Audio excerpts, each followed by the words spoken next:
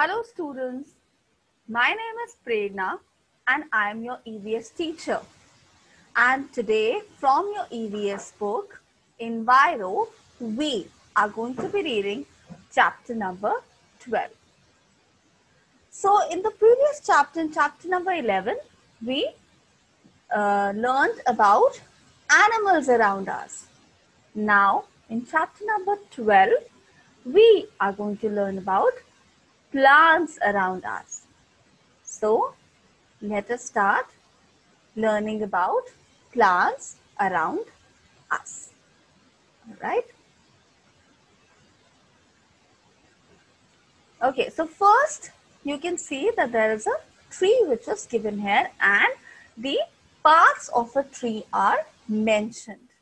So you see these are the leaves of the plant, this the fruit, these are the branches of the tree and then you have the trunk and these are the roots of the plant and it is the stem which carries water to the leaves and it stores food.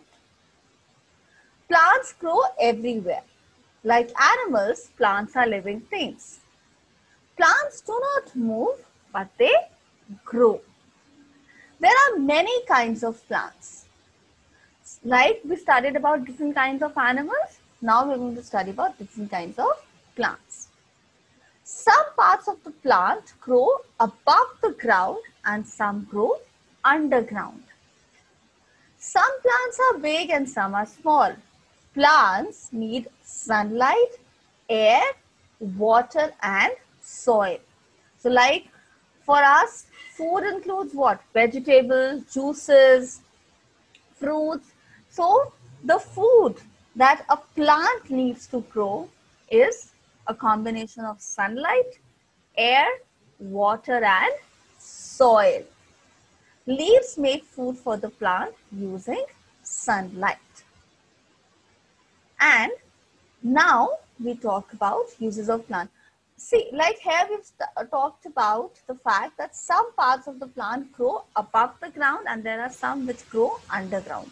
So looking at this diagram, what are the plants that are, uh, what are the parts of a plant that are going, uh, growing above the ground? The leaves, the fruit, the branches. And what part is uh, there at the under, underground? It is the roots of the trees. All right.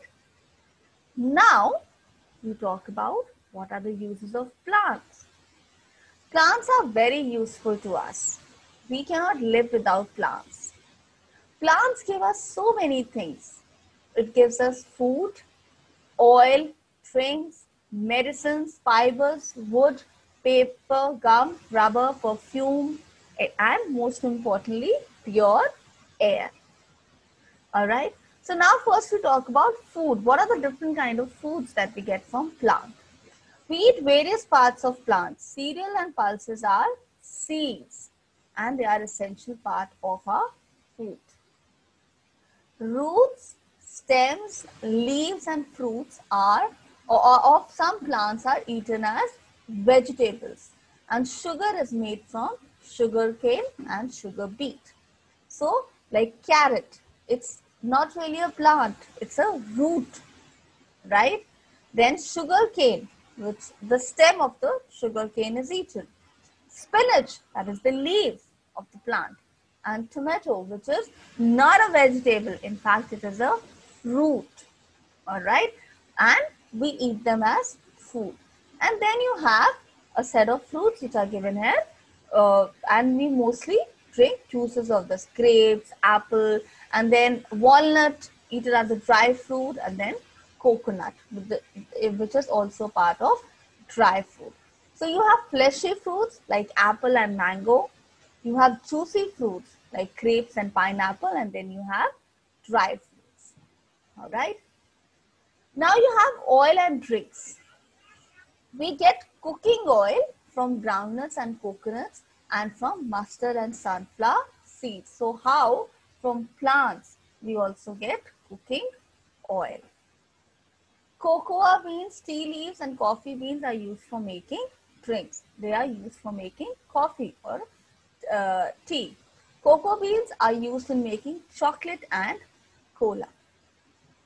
Now the other very important usage of plants is the medicines like neem, the most important plant. So medicines are made from plants like neem, poppy, eucalyptus, tulsi and garlic.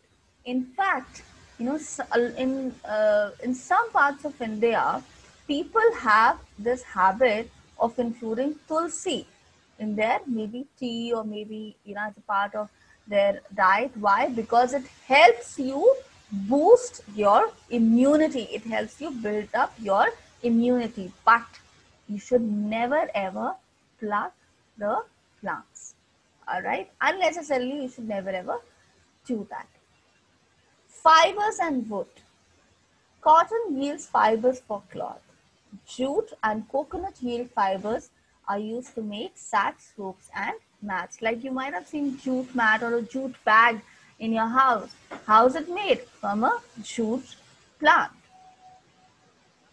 Things like doors, chairs, tables are made from wood. So see, trees are also helpful for us in making the furniture of the house.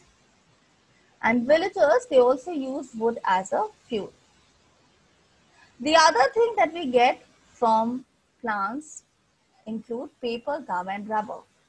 Paper is made from bamboo and pine trees. Gum is made from the juice of acacia stem.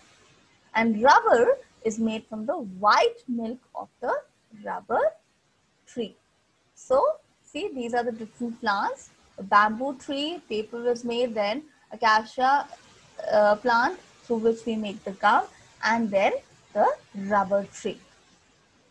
Decoration, scents and perfume. We decorate our homes with flowers and leaves. Scents and perfumes are also made from flowers. And protection, shade, fodder and manure. This is another very important usage of plant. We grow thorny plants as hedges. Umbrella type trees give us shade. Grass and leaves and branches are eaten by animals. And waste part of the plants is used as a as manure and most importantly, pure air. All the more plants make the air pure, which we breathe. We should grow plants to keep the air pure. All right. Now, how do you take care of plants? First is water plants regularly. We must not let them die. You should not put indoor plants out in the sun for too long because what happens? Then the plant will die you should not encourage cutting down of trees and you should plant a lot of trees and not step on the flower beds while walking in the garden because this way you will destroy the flowers and you should even in the park maybe you can give uh, fertilizer or water under the guidance of maybe a gardener or your parents all right so see these pictures are telling you what you must do and what you should not do with the plants. So there's a small activity which all of you can do, which I started doing when I was about, I think, eight years of age. On my birthday every year, I plant a tree. So imagine like how many trees I would have planted till now. What are you doing in this way? You are contributing to the environment. You're making the nature all the more beautiful. All right. So keep on planting trees. Thank you so